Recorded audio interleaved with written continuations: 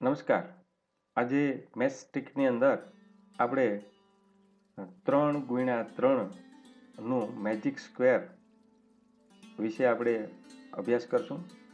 જેના દ્વારા બાળકો ખૂબ રમત સાથે ઇન્ટરેસ્ટ લઈને સરવાળા કરતાં ઝડપથી શીખે છે અને કંઈક કર્યાનો આનંદ મેળવે છે. તો એને આપણે ગુજરાતીમાં કહીએ છીએ જાદુઈ ચોરસ.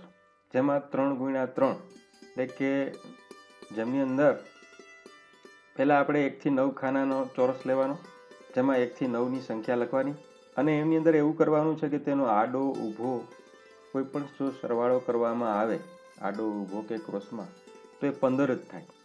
તો એના વિશે આપણે શીખશું. સૌપ્રથમ આકૃતિમાં બતાવ્યા પ્રમાણે આ રીતે આપણે એક એક એક પ્લસ ખાનું, અહીંયા પ્લસ ખાનું, એક અહીંયા પ્લસ ખાનું આઠની નીચે, છની નીચે એ રીતે ઉમેરી અને ક્રમમાં એક, બે, ત્રણ, ચાર, પાંચ, છ, સાત, આઠ, નવ.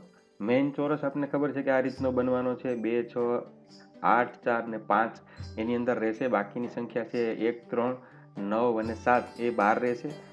આ એટલા માટે કર્યું કે આ ટ્રીક શીખીએ છીએ કે ઝડપથી તમે કેવી રીતે બનાવી શકાય. તો એના માટે આપણે અહીંયા જોઈએ. તો સૌપ્રથમ આપણી પાસે આ બનાવેલો ચોરસ હતો. અને એને કેવી રીતે આપણે ફેરફાર કરીએ છીએ? કે જેથી કરીને એ ઝડપથી કહી શકીએ. તો અહીંયા સાત અને ત્રણના સ્થાનમાં ફેરફાર કરીએ. તો આપણે જોઈ શકીએ સાત અને ત્રણના સ્થાનમાં ફેરફાર થઈ રહ્યો છે. ત્યારબાદ એક અને નવના સ્થાનમાં ફેરફાર કરીએ. તો એક અને નવના સ્થાનમાં ફેરફાર. એટલે મેઇન ચોરસ આપણી પાસે બની ગયો. આ જે ત્રણ ગુણ્યા ત્રણનો ચોરસ હતો આ બનેલો ચોરસ છે. આ ચોરસ ઓટોમેટિક ગોઠવાઈ ગયો. હવે આનો તમે આડો ઊભો જો સરવાળો કરો તો એ આડો ઊભો સરવાળો છે એ પંદર જ થાય. શા માટે પંદર થાય છે? એ વિચારવા જેવો મુદ્દો છે. તો અહીં આપણે જોઈ શકીએ છીએ કે પહેલો આપેલો ચોરસ જે આપણે એકથી નવ સંખ્યા લીધી અને હવે ગોઠવેલો ચોરસ, તેમની વચ્ચે આપણે જોઈએ પાંચ આવે છે. એ સંખ્યાની વચ્ચે પાંચ આવે છે. અહીંયા પણ મેઇનમાં પાંચ હશે આપણી પાસે. તો એ પાંચને અહીંયા ત્રણ ગુણ્યો ત્રણનું આપણી પાસે એક ચોરસ છે. એ પાંચ વચ્ચે છે અને આ ખાના પણ એના ત્રણ છે. એટલે પાંચ તેરી પંદર, કોઈ પણ વચ્ચેનું જે સંખ્યા હોય, એને ત્રણ વડે ગુણવામાં આવે એટલો જ એનો સરવાળો થાય. પછી તમે એ કોઈ પણ સંખ્યા લ્યો એકથી શરૂઆત કરી, એની જગ્યાએ તમે કોઈ પણ શરૂઆત કરી અને આવો જાદુ ચોરસ બનાવી અને એમની અંદર તમે એ સરવાળો કરો, તો વચ્ચેની સંખ્યા આવશે ને ત્રણ વડે ગુણીએ. એ રીતે જ આપણે એનો સરવાળો કરીએ. તો અહીં આપણે જાદુઈ ચોરસ જોઈ રહ્યા છે.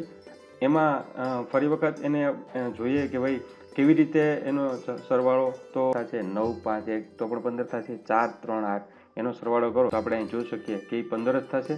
નેક્સ્ટ જોઈએ તો એનો ઊભો સરવાળો જો કરવામાં આવે, તો એ પણ છ, એક, આઠ, અહીંયા છે આપણી પાસે. સાત, પાંચ, ત્રણ, એટલે કે સાત ને ત્રણ દસ ને પાંચ, પંદર. આ રીતે નવ ને બે, અગિયાર ને ચાર, પંદર. તો ઊભો સરવાળો જો કરવામાં આવે, તો એ પણ કેટલો બનશે? પંદર જ. અને આ જ રીતે આડો સરવાળો એટલે કે એના વિકર્ણો. આ વિકર્ણોનો જો સરવાળો કરવામાં આવે, પાંચ, છ અને ચાર, એટલે કે ચાર, પાંચ, છ, બે, પાંચ, આઠ. ગમે તે સરવાળો કરવામાં આવે તો પણ તે પણ કેટલો? પંદર જ બનશે. આ રીતે આ જાદુઈ ચોરસની એક રીત છે જેના દ્વારા બાળકો ઝડપથી સરવાળા કરતા શીખે અને એને કોઈ પણ સંખ્યા આપી દેવામાં આવે. ક્રમિક સંખ્યા એકથી નવ અને વચ્ચે આવતી સંખ્યાને ત્રણ વડે ગુણીએ તો એ પંદર જ થાય છે. આવા વીડિયો તમે યુટ્યુબ ઉપર પણ જોઈ શક્યો છો અને આ વીડિયો જોવા બદલ આપનો ખૂબ ખૂબ આભાર. Thank you